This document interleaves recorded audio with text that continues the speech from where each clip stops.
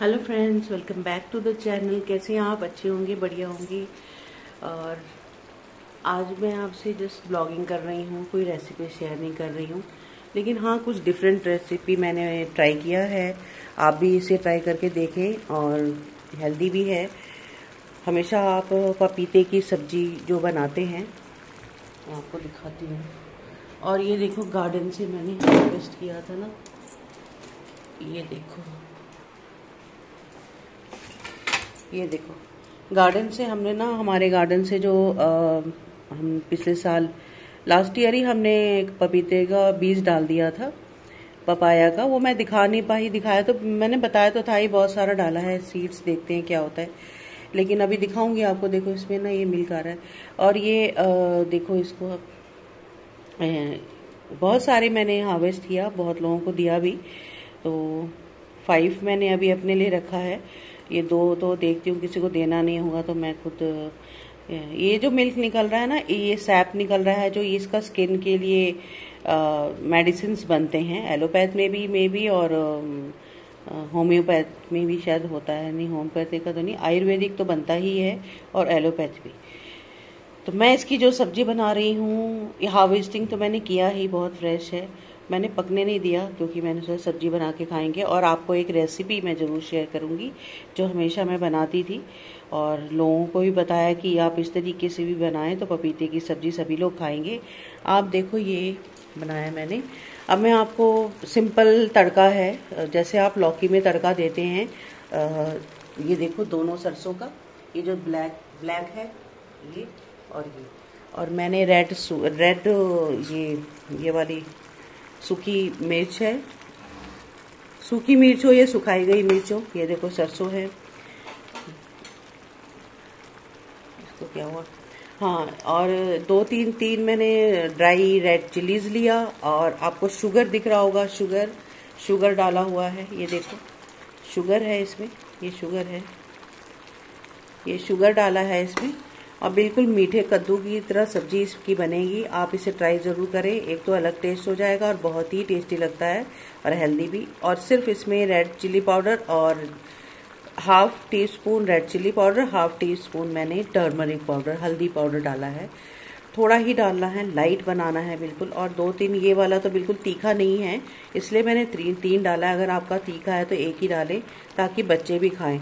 Sugar डाला है, बिल्कुल मीठी सब्ज़ी बनानी है और मैंने सॉल्ट डाला है। ये देखो सॉल्ट पहले ही डाल लिया है। तो सभी मैंने तड़का आपको फिर से बता देती हूँ। इसमें देखो, ये देखो, सरसों डाला है। ये देखो ये देखो, आप देख रहे होगे। दोनों येलो और ब्लैक दोनों सरसों मस्टर्ड सीड्स के तड़का दिया मैंने और दो तीन रेड ड्राई चिल्ली ले लिया। और शुगर सॉल्ट मैंने डाला है, बिल्कुल कद्दू की सब्ज़ी की तरह। और हाफ़ स्पून टर्मरिक पाउडर डाला है। ये देखो, ये टर्मरिक है, जो इसे डाला है, टर्मरिक पाउडर डाला है, रेड चिल्ली पाउडर डाला है। हाफ़ हाफ़ स्पून लिया है, ज़्यादा नहीं, तेज नहीं करना है। और इसमें थोड़ा सा वाटर निकल रहा है, क्योंकि ये फ्रेश है इसलिए। और मैंने इसको इसका एक टिप ज़रूर दूँगी मैं कि इस, इसके सैप के बारे में और भी कोई चीज़ पता है। और दूसरा ये हो गया। अब ये सॉफ्ट पहले इसको सॉफ्ट कर लेना है ढक करके। थोड़ा सा सॉल्ट और थोड़ा शुगर पहले ही डाल दें, उसे ना जल्दी सॉफ्ट हो जाता है ये सब्ज़ी। सौ ये मतलब कभी भी आप कद्दू भी बनाते हैं ना तो थोड़ी सी सॉल्ट हाफ़ एक टी टी स्पून सॉल्ट एक टी स्पून शुगर पहले ही डाल दें। फिर बाद में टेस्ट के हिसाब से बाद में डालें। उससे क्या, जल्दी सॉफ्ट हो जाता है। अब हम ढक देते हैं। बनता रहेगा। ठीक है। अब मैं चना बॉईल कर रही हूँ। ये देखो ब्लैक ब्लैक चने। इसको जस्ट फ्राई करके बनाएँगे, क्योंकि राइस के साथ किसी को नहीं खाना है तो मैं बनाऊँगी डिफरेंट सा कुछ स्नैक्स तो ये देखो आपका, वो झींगा वाला मसाला, जो मैं उस वक्त इसको खोल नहीं पा रही थी तो मैं दिखाया नहीं, ये है वो। इसको मैं ना श्रिम मसाला भी बोलती हूँ। इसको सिर्फ़ सिंपल ऐसे ही डाल दूँगी, क्योंकि इसको जलाना नहीं चाहिए। मैंने पहले भी बताया, इसको जलाने से ना पूरी सब्ज़ी ही कड़वी हो जाती है, और बस इतना ही डालें। इसका फ़ायदा बहुत होता है, इसमें बहुत सारे न्यूट्रिएंट्स होते हैं, लेकिन इसको जला दो तो कड़वा हो जाता है, बच्चे फिर नहीं खाते, और मसाला भी बहुत तेज़ हो जाता है। इसलिए थ्री फोर वॉश करना है ब्लैक चने को को भी और ये देखो मैंने वाटर रख दिया है प्लांट्स में डालूँगी इसको। ब्लैक चने के वाटर को वॉश किया है आपने अच्छे तरीके से। अब हम इसको बॉईल भी करेंगे, देर तक 25 मिनट्स तक बॉईल करना है। इसमें भी मैंने सॉल्ट डाल दिया है और सॉल्ट डाला है, झींगा मसाला डाला है, आप देख सकते हैं। और मैंने इलायची भी डाली है, दिखाती हूँ।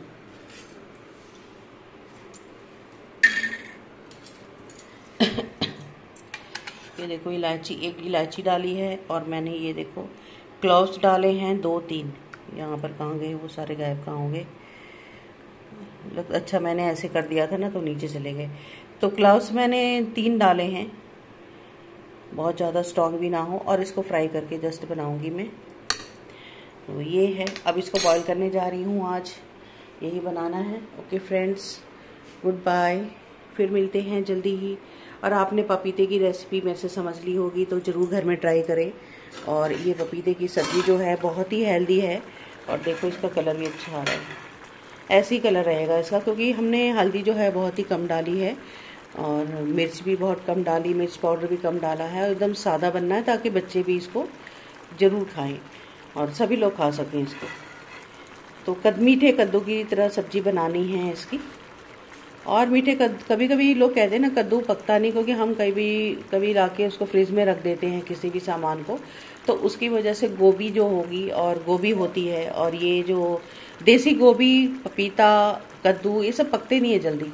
फिर जल्दी से ना सॉफ्ट नहीं होते, इसलिए आप जब इसको तड़का डाल दें तो हाफ़ स्पून मतलब वन टीस्पून आप शुगर वन टीस्पून सॉल्ट ज़रूर डाल दें सभी सब्ज़ी में। इससे क्या होगा, जल्दी से वो सॉफ्ट हो जाएगा। गोभी की बना रहे हैं तो उसमें चीनी ना डालें।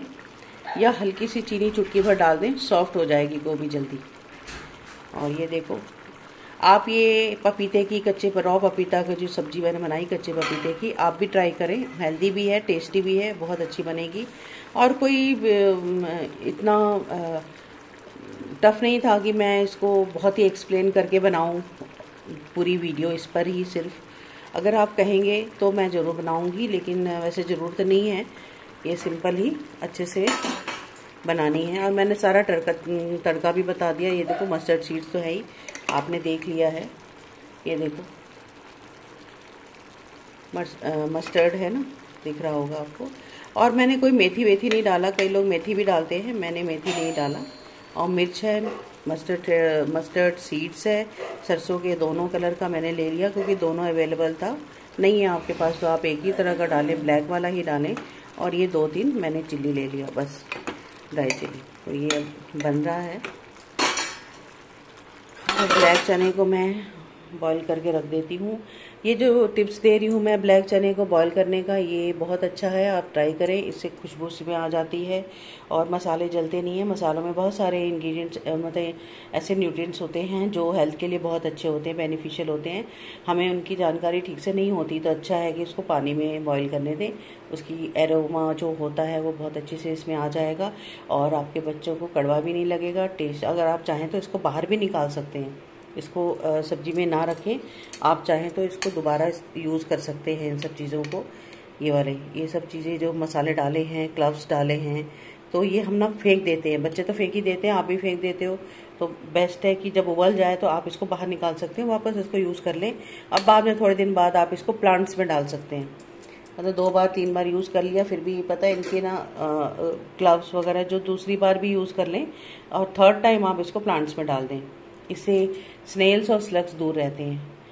तो आज मैंने ये शेयर करा था। गुड बाय फ्रेंड्स फिर जल्दी ही मिलते हैं किसी नए टॉपिक के साथ, किसी इंटरेस्टिंग न्यू टॉपिक के साथ। गुड बाय अच्छे रहें, बढ़िया रहें। मेरे प्लांट देखो सही हैं, लेकिन अभी फ्लावरिंग नहीं हो रही है इसमें। तो गुड बाय गुड बाय